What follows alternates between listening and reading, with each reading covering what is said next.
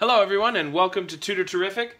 Today we are going to look at part three of our Solving Quadratic Equations series. It's the last part and these are the methods we are going to use when factoring is not possible or does not appear to be possible by the means in the first two parts of the series. The three types of methods we are going to look at today are solving by square roots, completing the square, and the quadratic formula. All of these, when factoring is not possible, will result in solutions that are irrational. So that means they have a square root in them.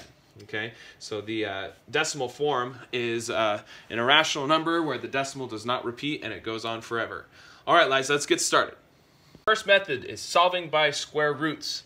Now, you can use the square root method in all different types of situations, including instead of the difference of squares method that I showed you in part one of this series. However, square roots is necessary when you cannot solve a difference of squares type binomial uh, with um, the difference of squares factorization. Sometimes you just have to square root. So the premise here is that you use this method when the x to the first power term is missing and you will move the constant terms to the other side and make sure all the x squared terms are on the same side. Then you'll simplify the expression if necessary and then square root. You will get two answers by doing this and I'll show you how. Let's look at the first one. Notice how it's often that solving by square roots problems are not in standard form and that's fine. You don't want them to be in standard form.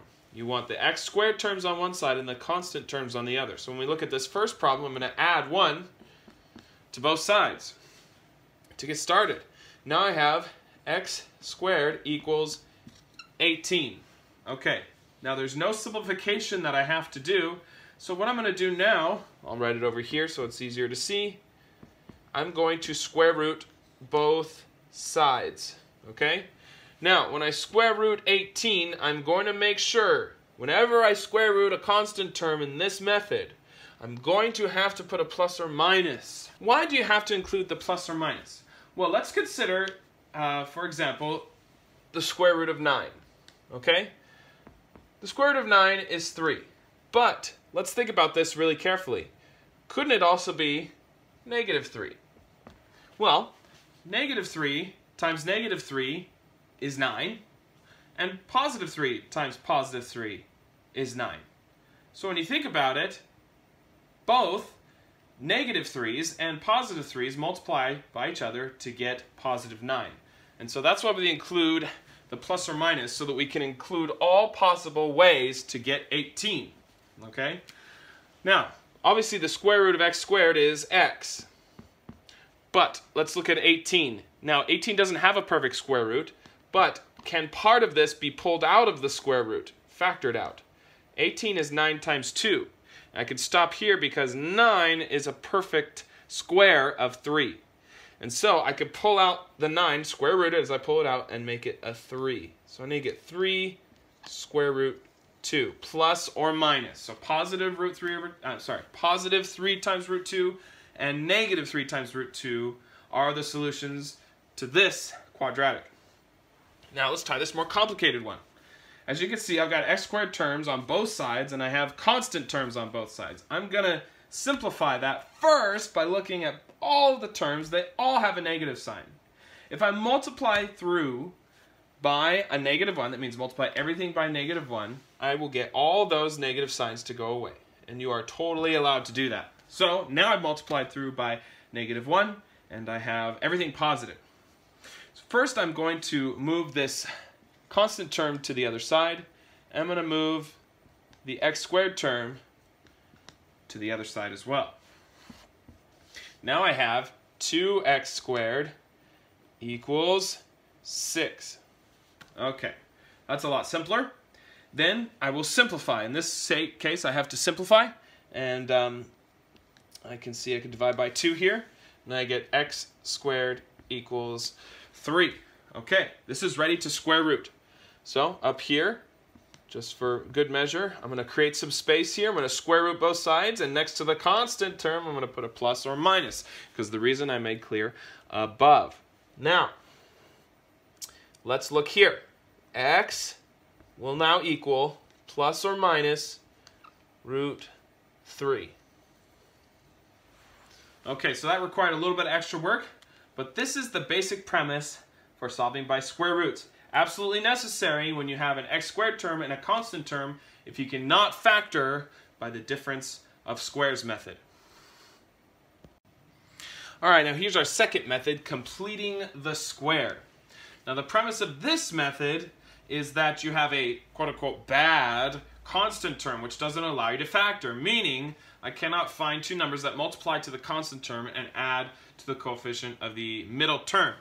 So what we'll do is we'll move the bad constant term to the other side and then we will add the proper constant term so that we can make a perfect square trinomial. What's a perfect square trinomial? Well, it's a trinomial that factors into the same binomial twice. Okay, so it's like x plus 3 times x plus 3. Okay, that makes x squared plus 6x plus 9. So that's a perfect square trinomial example. So we're going to make those by completing the square. So let's apply that to this first example. So what we have here, x squared plus 4x minus 7. You could try and factor that. Good luck. I'm not going to find two numbers that multiply to negative 7 and add to positive 4 because 7 is prime. It's not possible. We don't even have to think about it. Okay, so what we're going to do is we're going to add that 7 to the other side. So now we have x squared plus 4x. Now leave a space, a big space, and put equals 7. In that space, what you're going to put is plus blank minus blank. The reason I have to do that is because I can't add something to one side unless I subtract it also. Alternatively, which I like to do as well, is put a plus blank on this side and a plus blank on the other side. Both of these are equivalent, okay? Now, the reason I want to do it this other way is because of the next example. So I'm going to do it where I put the plus and the minus on the same side. What goes in those blanks? Well, what goes in those blanks is half of the middle term squared. That is how you create a perfect square trinomial. You divide the middle coefficient, 4, by 2, which gives you 2, and then you square it. And that gives you 4 again. In this case, it just happened to be the same as the 4. So half the middle term squared is what you put in the blanks. Plus 4 minus 4. Now you say, well, I just cancel those and they're gone. Now I'm back to where I started. No, what you're going to do is you're going to take the negative version and you're going to add it to the other side. Okay? So when we do that, we have the following, and I'll write it up here. x squared plus 4x plus 4 equals 7 plus 4, which is 11. Okay, now, on the left, we have a perfect square trinomial. And what we're going to do with that is we're going to factor it. Now you don't have to think about how this would factor. It's going to factor the same way every time. It is going to factor like this. x plus 2 times x plus 2. Now that's just the 2 comes from half of the middle term. You will add the half of the middle term to x and that will be both of your factors. When I have the same factor twice, I could just put one of those factors squared. And that equals 11. Now, we already learned in this video this method of square roots. We are going to apply it now because I cannot move forward until I take the square root of both sides. Now remember, if we're going to square root a constant, we have to put it as plus or minus the square root of the constant. On this side, we have x plus 2 squared, square rooted. That just gives us x plus 2 the other side, we have this radical plus or minus square root of 11. I can't even take anything out of that. It is completely set like that. And the last step is just move the 2 to the other side by subtraction. You're not allowed to combine it with the square root any other way than this. x equals negative 2 plus or minus the square root of 11. So that's our answer to the first one. See how it has a radical in it, just like all our answers from the previous method. Next, we are going to look at this guy. Now this one, the first coefficient is negative 2, and it doesn't look like I can divide that negative 2 by GCF, greatest common factor, out of all the terms. So what I have to do is I have to factor it out of the first two. Move the 31 to the other side first. So now I have negative 2x squared plus 16x equals 31. All right. Now I'm going to factor the negative 2 out of these two terms. You have to do this. You cannot skip this step.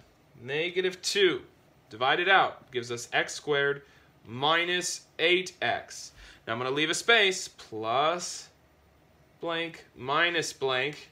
Close the parenthesis equals 31. Notice how that's different than the previous step. There's added work here. Now we will complete this square inside the parentheses. We will divide negative 8 by 2. We get negative 4.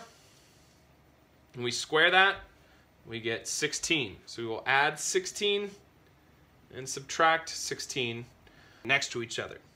Now, the negative 16, like the negative 4 up here, we want to move to the other side. We can't just move it over there by adding it. We have to multiply it by what I call the gatekeeper, what was factored out of everything on this side in the beginning. So it's like negative 16 wants to go over here, and the gatekeeper's like, hey, you got to multiply by me first. So when negative 16 multiplies by negative 2, we get positive 32. Okay? So we've got negative 2 x squared minus 8x plus 16. Now, and I've pulled this out, it's plus 32 equals 31. What I'm going to do now is I'm going to subtract it to the other side.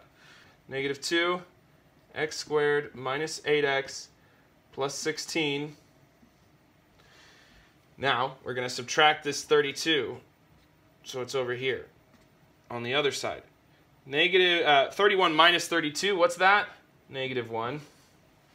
Negative 1. Okay. Now, we need to simplify. Okay? Let's get that negative 2 out of here. And that's no problem. What we're going to do is divide both sides by negative 2. That gets rid of the negative, which would have been a huge problem when it was time to square root. So now we have 1 half over here. Well, what do we have on this side? Well, what we have is a perfect square trinomial. What we're going to end up doing with that is writing it as two binomials that are the same type, so we can square one of them. Again, it's half of the middle term added to x, the middle coefficient, added to x. That would be negative 4. Aha, there we go. Now we will square root both sides. Plus or minus must be included over here. Then I have, say square root something squared, it's just the thing inside. X minus 4 equals plus or minus square root 1 half. Then we will add the 4 to the other side. So our final answers will be that x equals 4 Notice how I'm always putting the rational number first, then plus or minus the irrational number. 1 half. Now I know there's multiple ways to write the square root of 1 half. It's not necessary in this video to discuss the various types. So there we go. X equals 4 plus or minus the square root of 1 half. This is the method of completing the square. Alright guys, and here's our last method, the infamous quadratic formula. This can be used no matter what. If you could factor it, if you can't factor it, but it's annoying and it can be quite a um, pain to simplify the expression you have to simplify, which is over here. And so some people avoid this and use it at, la at, uh, last resort. However, the completing the square method does the exact same thing. Um, some people prefer the quadratic formula because they can remember that expression rather than the completing the square method. You can memorize it easier. So I'm going to do this first example, which is the same as my first example from the previous method, completing the square. Now we don't have to move anything around, we just want to get things in standard form, and this expression is in standard form. What we have to determine is what A, B, and C are. A, of course, is the coefficient of the first term. So RA in this example is 1. B is the coefficient of the middle term, x, and that's 4. And then C is the coefficient of the constant term, negative 7. So, here we have our constants. Now we just plug them into the formula. It's very straightforward. That's why some people like it. So, negative b, that'll be negative 4 plus or minus the square root of b squared, which is 16, minus 4ac. So that's 4 times 1 times negative 7. So that's minus negative 28 or plus 28. Okay? When I multiplied those together, that's what I got. Then divided by 2a. All divided by 2a, so that's 2 times 1, that's 2. Okay, now our only job is to simplify this expression as much as we can. So, let's start with the uh, what's called the discriminant. This b squared minus 4ac is called the discriminant. We'll simplify that to one number. What's 16 plus 28, people? It looks to me like 44. Negative 4 plus or minus the square root of 44 over 2. Then we will try and pull out everything we can from the square root. And in this case, 44 is 4 times 11. I can pull out that 4. I have to square root it while I do that. And so I get 2. And then what's still inside is 11. So I have negative 4 plus or minus 2 root 11 over 2. Now the next thing most people do is split this into two fractions and simplify further. So I got negative 4 over 2 plus or minus 2 root 11 over 2. And you can see that those 2's are going to cancel. And this first term is going to simplify to 2 over 1.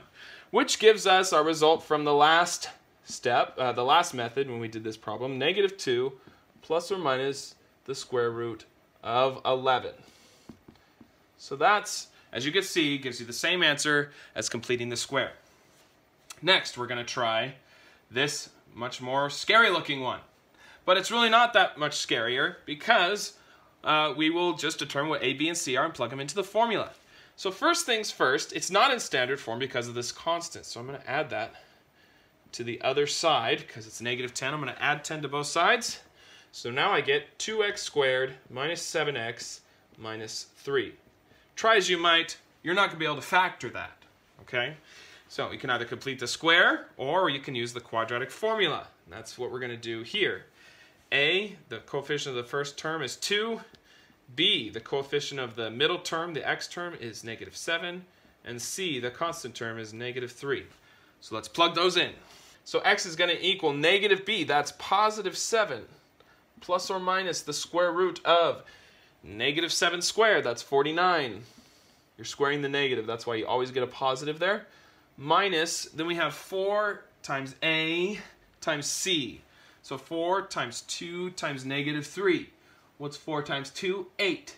What's 8 times negative 3? Negative 24. So again, we get a positive 24.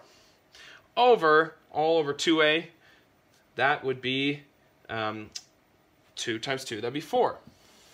Okay. So, this looks like it's going to be a nasty fraction. That's fine. So we have 7 plus or minus the square root of 73 over 4. You can leave your answer like this if it's more simple.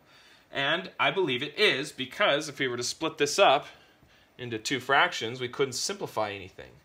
We'd have 7 fourths plus or minus the square root of 73 over 4.